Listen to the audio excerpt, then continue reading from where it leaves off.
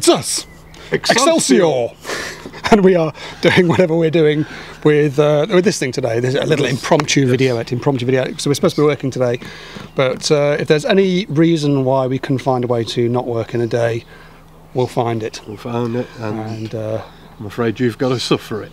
yes, yes. So here we are out in the sun. It was sunny until just when we press record, and now the sun's gone. yes, it's And gone. It looks like it might actually rain. So uh, we probably need to get on with this. But exciting times, exciting times because. I've done a video in the past, Nigel, about the Ultimate Electrician's Toolbox, Ah, yeah. as you'd be well aware. I, well, I, don't- I own the ultimate, so I mean, Nigel obviously has this. Would you like to raise up your plumber's bag, in fact, Nigel, and uh, just remind the world? you've About- seen this before. Yes, yes. Look how heavy, cumbersome, impractical. No, no, no. It simply does not float. one's boat. That bag comes with a free muscle. You don't get it for a week or two, but you get one. I used to have muscles, and they all sort of sank down here. I can see you've got a very, very strong midsection there. But I'm going to do some pair of tits. Yep, maybe. What are we talking about? oh, Um, toolboxes. Yes. oh, uh, yes, yes. yes. So uh, the, I had the Stanley Top Edge, the ultimate electrician toolbox, and very good toolbox it is too. it, yes, yes, I, I agree. It was a very good tool. Very pleased with it. So I decided to change it for something else. And why not just, why not? Well, you know how you get an itch for these things. There is, there is I do. kind of a reason for it. You see now, uh, just to explain a bit of backstory.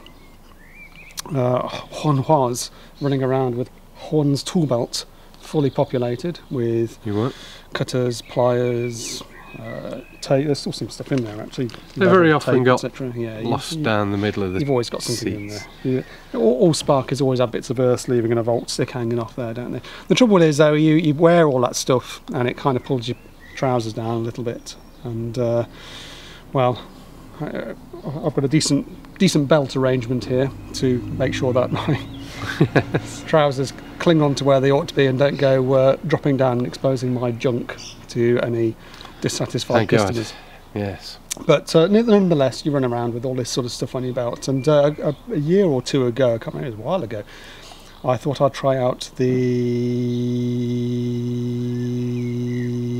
Tough, but Toughbuilt. Tough built. Thank you, Nigel, for rescuing me there. In fact, would you like to show off your Toughbuilt, Nigel? I will, I Nigel will. keeps his Toughbuilt in his lesser electrician's bag of shite. It's quite a weighty one, you know. You do feel after a Mm, Do- while, Do, offer it up to the camera, Mr. Marsh. which is great. Yes, these pouch things they uh, are rather spiffing, and like you can probably see that.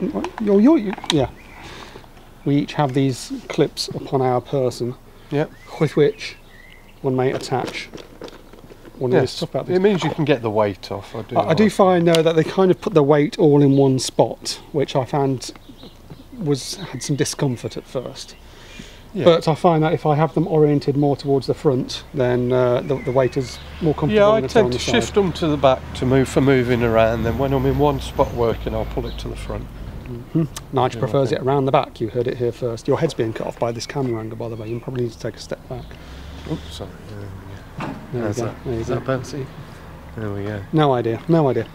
So uh, yes, uh, the advantage, of course, with not what Nigel calls his basics is that he can pull them out of his plumber's bag of shame and simply clip them to his belt, and the majority of his day-to-day Yeah, screwdrivers, job equipment. pliers, wherever. mhm, is all uh, all available in one go. And uh, at the end of the job, he simply decants it back into his bag, Yep. and he's not walking around with a load of uh, tools hanging off his belt, which uh, Yep. otherwise would perhaps drop off in places where one doesn't want them to. So I thought, yes, that's a good idea, but that's uh, that's, that's too much for me. Too much for me, all in all in one spot like that. Uh, so I split mine across two pouches. Yes.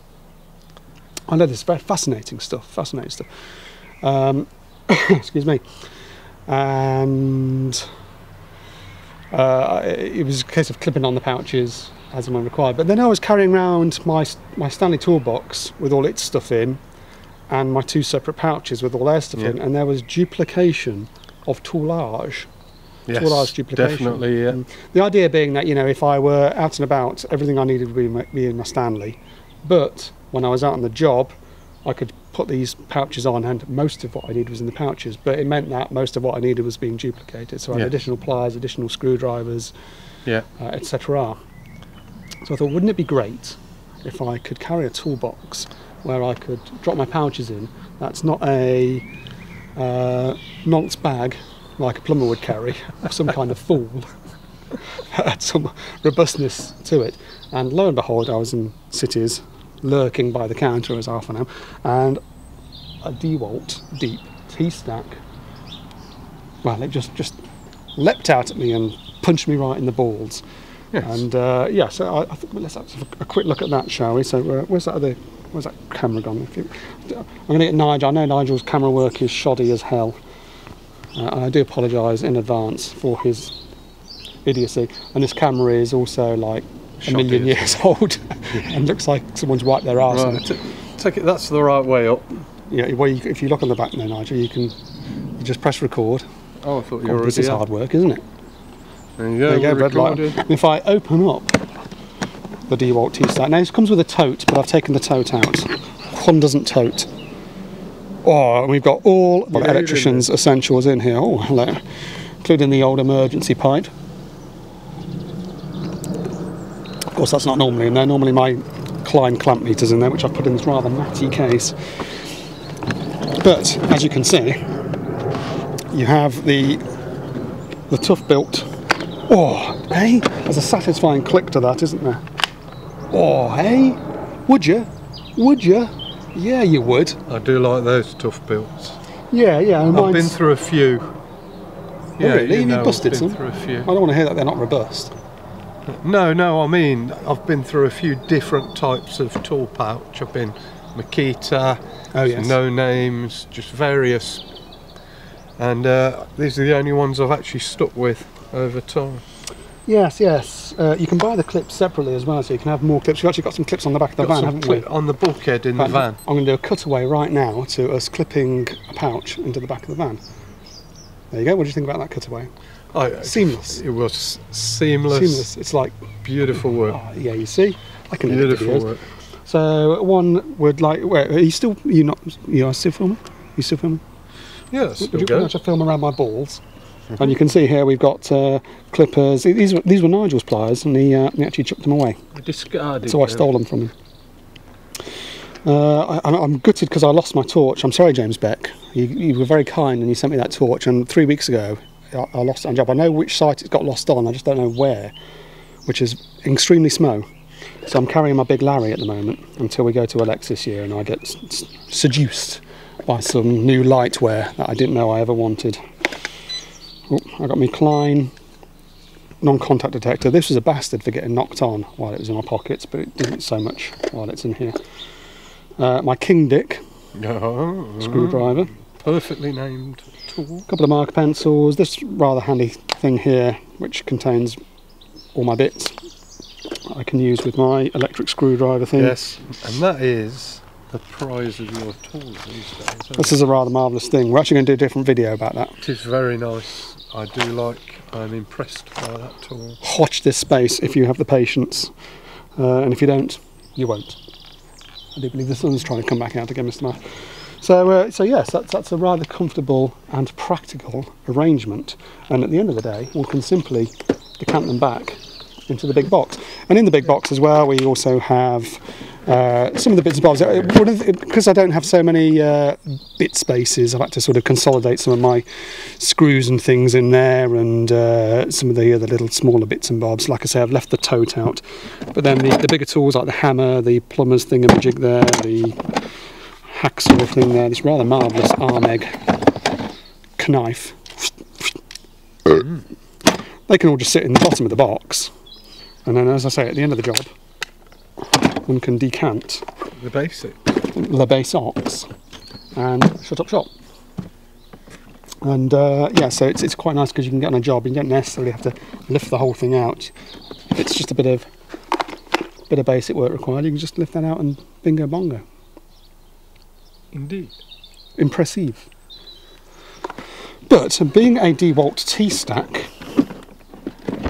as my new Yeah. ultimate ultimate electrician's toolbox is, means we can T stack the motherfucker onto something else.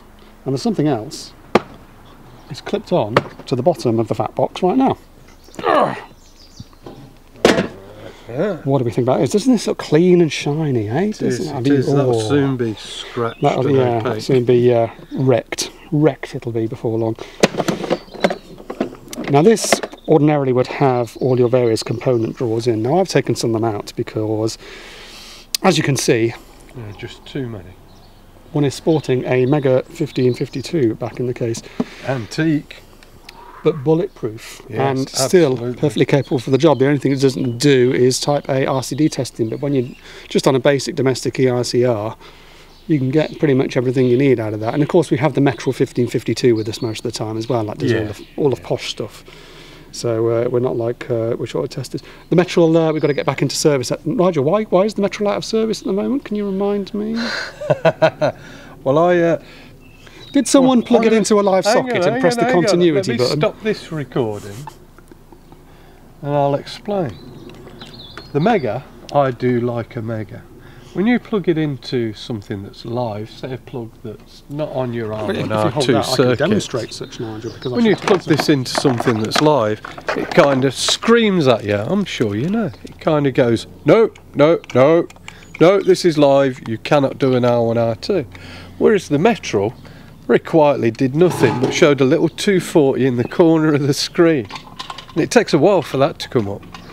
So, plugs it in, I did. It takes a while. Listen to it. Well, when you're going round lots of sockets, a couple of seconds is a while. You grab your camera again, and we can demonstrate this right now, Nigel. And then, uh, well, I've pushed the button for an hour, one hour, two on a live.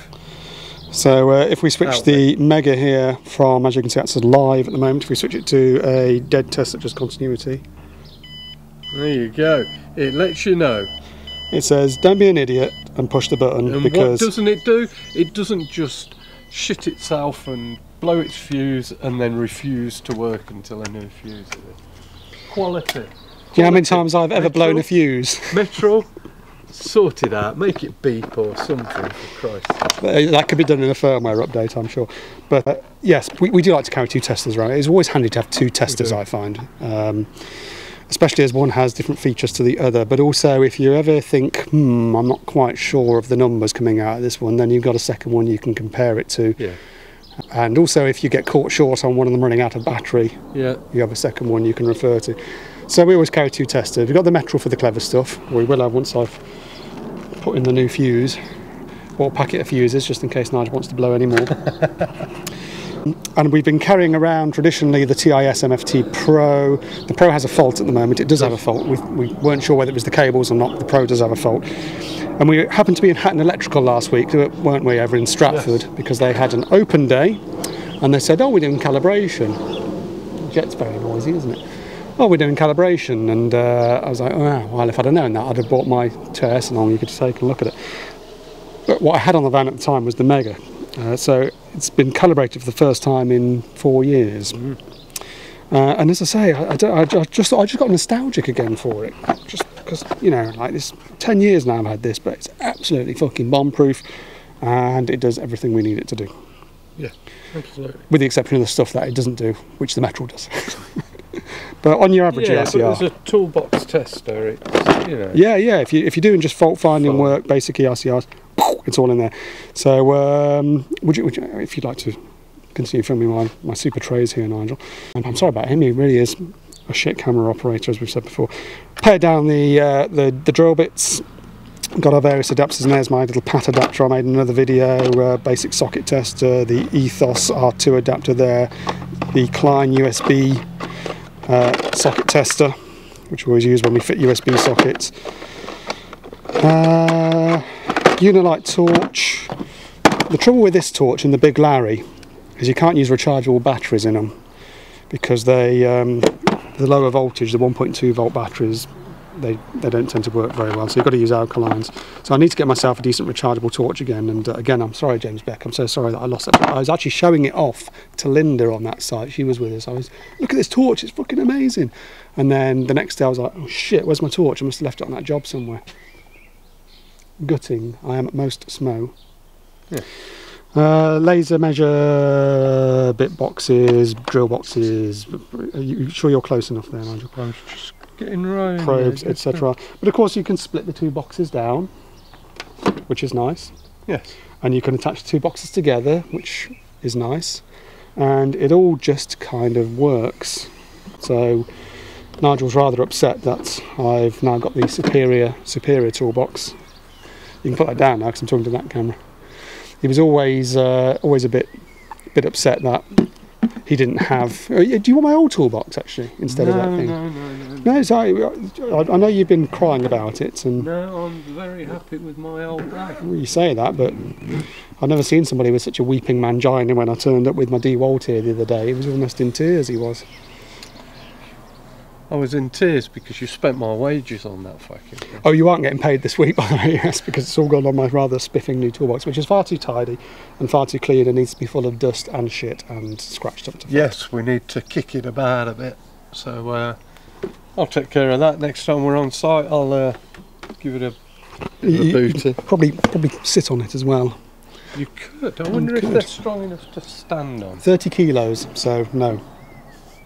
So you can't stand on. Mind you, they say that. Uh, I'm sure if you stood on the edges, Yeah. it'd be strong enough. yeah, it'll We'll take it my it'll take my 70 odd. That's for damn sure. Yeah, yeah. What can go wrong, Mr. Marsh? Nothing. Nothing can go wrong. It's all too well planned, unlike the video, which is a The load of made up sun bullshit. is getting lovely. It's nice it and warm yeah. It's jolly neck good, now. isn't it? It's just like you want to sit out and just ah, enjoy a pint of an I'll tell afternoon. you what, if it was me and I was watching this video right now and I'd reached this point, I think I'd be really depressed with my life that I'd sat through that. If it were me, I wouldn't watch this shit. Mm, fucking hell. Oh, I suppose we better do the uh, buy me a beer shout outs. Oh, yes, I, I suppose we better on. I better find out who's bought us a beer. Yes. Right, a smooth segue into the buy me a beer Yes. section. Not many to report because we've only just put a video out and nobody likes us anymore. Most people didn't like us in the first place, I'm sure. I don't like us. So thank you to Ken Gibson, Ken Gibson. Kenny, uh, the oldest apprentice in the Northwest. Oh, I say. well, how old is the oldest apprentice in the northwest? I'm afraid he doesn't say. but he must be pretty old. Pretty And of course, Andy Payne goes without saying. Andy Payne. Uh, always fun content. Cheers. So Andy Payne or lies Andy. Always, Payne. always fun content. yeah. Say that now. So thank you for your. Thank you very much. Thank you. Yes. Well. Excelsior. It's what.